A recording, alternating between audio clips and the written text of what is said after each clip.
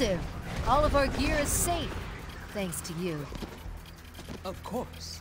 Cable's holed up nearby, in an old Hydra base we repurposed.